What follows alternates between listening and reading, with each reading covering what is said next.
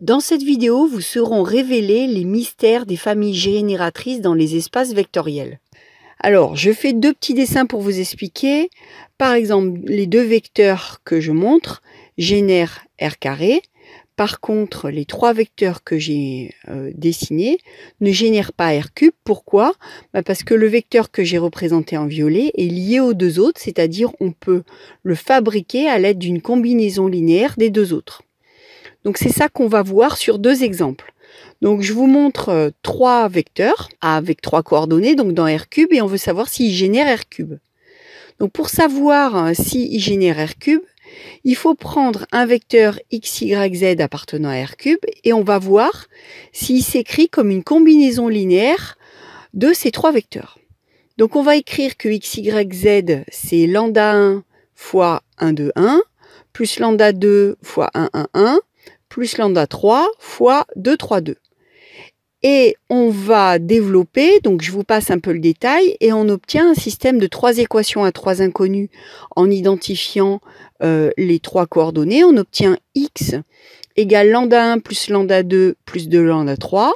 y vaut 2 lambda 1 plus lambda 2 plus 3 lambda 3. Et z vaut lambda 1 plus lambda 2 plus 2 lambda 3. Alors, la difficulté, c'est qu'il faut résoudre ce système. Vous voyez, il y a beaucoup euh, de lettres. En fait, on va considérer que x, y et z sont des constantes. Mais en fait, si on regarde vraiment bien ce système, vous apercevez que la première équation et la dernière équation, c'est exactement les mêmes euh, valeurs, les mêmes coefficients devant lambda 1, lambda 2, lambda 3. Donc si on fait la soustraction de ces deux lignes, on se retrouve avec x moins z égale 0. Donc en fait, x égale z. Qu'est-ce que ça veut dire? Ça veut dire que seuls les vecteurs tels que x égale z sont générés par cette famille de vecteurs.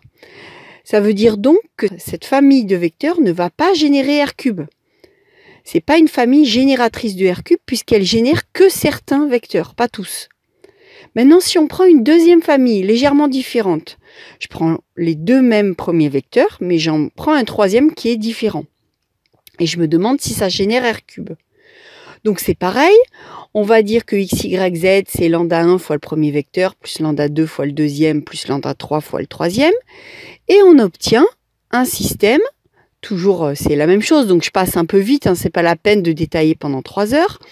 x vaut lambda 1 plus lambda 2 moins lambda 3, y vaut 2 lambda 1 plus lambda 2 plus 2 lambda 3, et z vaut lambda 1 plus lambda 2 plus lambda 3.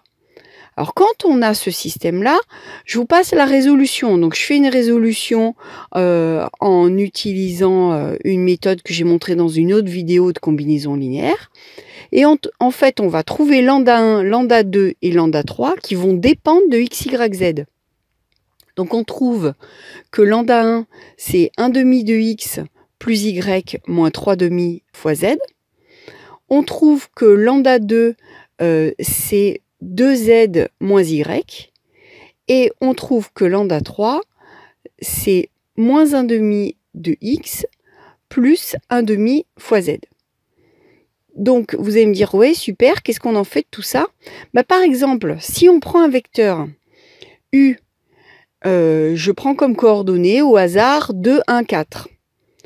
Bah, alors à ce moment-là, qu'est-ce qu'on va trouver euh, pour lambda 1 On va trouver moins 4 en remplaçant. Lambda 2, on va trouver 7 et lambda 3, on va trouver 1. Euh, Ça veut dire quoi? Ça veut dire qu'en fait, le vecteur U, que j'ai pris au hasard, en fait, il, il, vaut moins 4 fois le premier vecteur, plus 7 fois le deuxième, plus une fois le troisième. Et ça, bon, je vous ai pris un vecteur comme ça, mais en fait, n'importe quel vecteur de R cube va pouvoir s'écrire comme une combinaison linéaire unique en fait de vecteurs des trois vecteurs que j'ai donnés. Donc ça veut dire que cette famille, elle génère R cube. N'importe quel vecteur peut être écrit comme une combinaison linéaire de ces trois vecteurs.